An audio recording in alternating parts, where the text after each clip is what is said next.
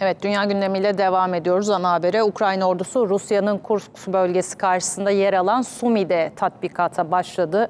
Rusya'da tabii yaşananlar sonrası hava saldırılarını arttırmış durumda. Kuzey Kore ise Ukrayna saldırılarını kınayıp Rusya'ya desteğini açıkladı. Сьогодні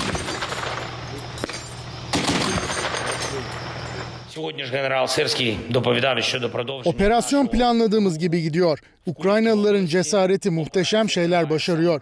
Pozisyonumuz güçleniyor, varlığımız güçleniyor.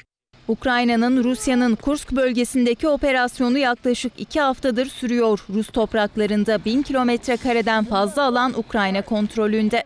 Sınırın karşı tarafında Ukrayna'nın Sumi bölgesinde de hareketlilik var. Ukrayna ordusu tatbikata başladı. Tatbikat Ukrayna askerlerinin olası bir pusu sırasında savaşma kabiliyetini artırmayı hedefliyor. Manevralarda tanklar ve zırhlı araçlar da kullanılıyor. Gerçek bir savaş alanı ortamı yaratmaya çalışıyoruz. Onları her türlü tehlikeye karşı hazırlıklı hale getiriyoruz.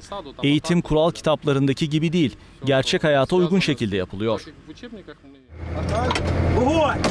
Ukrayna'nın Kursk saldırısı genişlerken Rusya'da hava saldırılarını artırdı. Hedefte başkent Kiev vardı. Ukraynalı yetkililere göre Rusya'nın ateşlediği balistik füzeler başarıyla düşürüldü. Ayrıca Ukrayna genelinde 8 İHA ve 5 füzenin daha engellendiği açıklandı.